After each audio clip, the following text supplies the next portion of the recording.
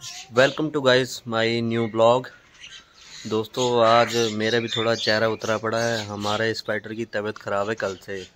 अभी उसे काशीपुर डॉक्टर के पास लेके जा रहे हैं, सरकारी हॉस्पिटल और कल हमने एक डॉक्टर दिखाया था, वो कह रहे इसे पारों की बीमारी की शिकायत है। अभी लेके जा रहे हैं काशीपुर, वहीं मिलते हैं। दोस्तों, वीडियो के साथ जुड़े रहना, वीडियो को स्किप मत करना। दोस्तों, ये स्पाइडर मेरा बीमार हो रहा है बेचारा।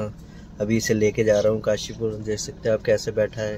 ये तो खेलता रहता है, पर आज बिल्कुल ढीला ढाला है, कुछ भी नहीं खाया सुबह से।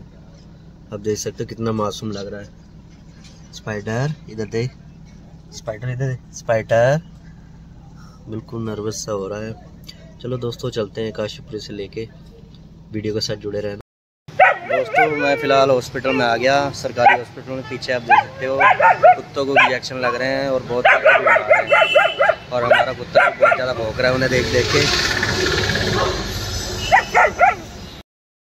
दोस्तों, आप देख सकते हो स्पाइडर को बोतलें लग रही हैं, इसकी ज़्यादा तबीयत ख़राब है। आप देख सकते हो कैसे बेचारा पड़ा है, और बोतल लग रही है। बहुत ज़्यादा परेशान है, इसे खाने पीने के लिए भी मना कर दी डॉक्टर साहब ने।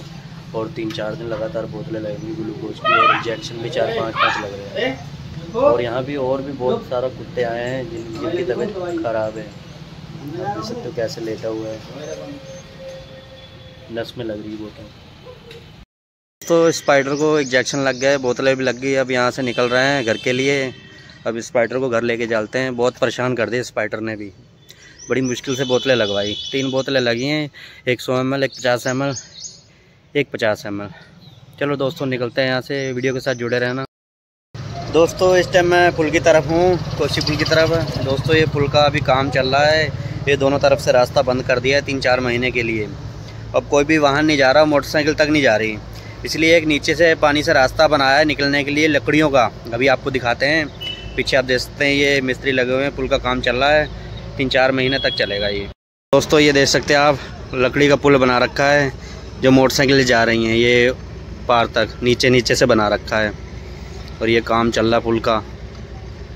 ये पानी की वैसे मतलब किसी को समस्या ना आए पार निकलने की, क्योंकि पानी बड़ा है ना अभी भी।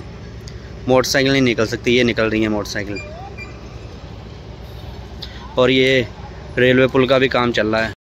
दोस्तों, इस टाइम मैं सत्तर एकड़ प्लाट में हूँ। ये हमारे गाँव के पास ही सागवान है।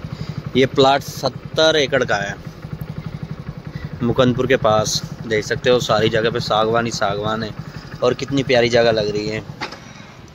और एक, इस तरफ़ आप देख सकते हो, पास में क्रेशर भी है।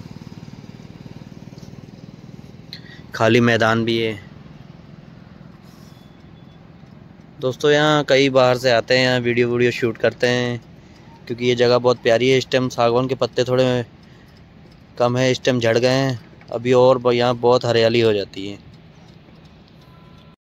दोस्तों, आज का ब्लॉग मुझे यहीं ख़त्म करना पड़ेगा, क्योंकि आज मेरा पूरे दिन ही कहीं मन नहीं लगा, क्योंकि स्पाइडर को आज चार बोतलें, तीन बोतलें लगी हैं इंजेक्शन भी लगे हैं, उसकी तबीयत ख़राब है, कल भी उसे हॉस्पिटल ले जाना पड़ेगा।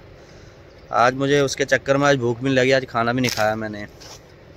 दोस्तों, नहीं तो बाहर मैं घूमने के लिए जाता आज, ब्लॉग बनाने के लिए, इसलिए मैं बाहर नहीं जा पाया। और मिलते हैं कल एक नए ब्लॉग में। थैंक यू दोस्तों।